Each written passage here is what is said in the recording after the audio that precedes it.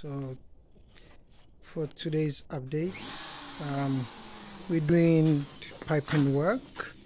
As you can see we're putting the pieces together from the fish tank connecting to the solids filter and into the mineralization in the biofilters from which it connects into the grow beds. Um, there are 10 grow beds uh, gravel beds and there are three different sizes of uh, deep water culture. For today we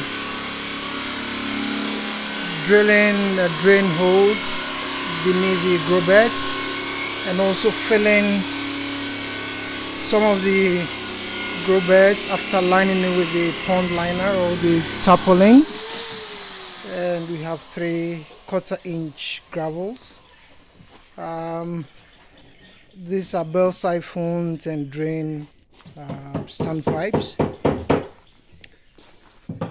as you can see we here it's the process of laying in the top.